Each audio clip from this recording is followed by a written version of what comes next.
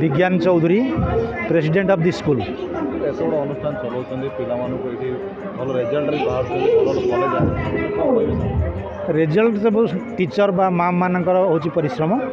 ତାପରେ ପିଲାମାନଙ୍କ ନିଜସ୍ୱ ପରିଶ୍ରମ।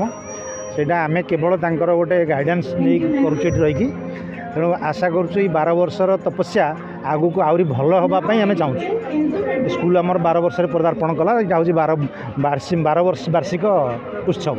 ତେଣୁ ଆମେ ଚାହୁଁଛୁ ଆଗକୁ ଆହୁରି ଅଧିକ ସ୍କୁଲକୁ ମାନେ ବଢ଼େଇବା ପାଇଁ। ତେଣୁ ସମସ୍ତଙ୍କର ପ୍ରଚେଷ୍ଟା ବଳରେ ଏଇଟା ହେଇପାରିବ ଏବଂ ମୋତେ ମଧ୍ୟ ସମସ୍ତେ ଇନ୍ସପାୟାର କରିଛନ୍ତି ଆର ଗୋଟେ ନୂଆ ରୂପ ଦେବା ପାଇଁ। ଆଉ ସେ ରୂପ ଦେବା ପାଇଁ ମୁଁ ଚେଷ୍ଟା କରୁଛି।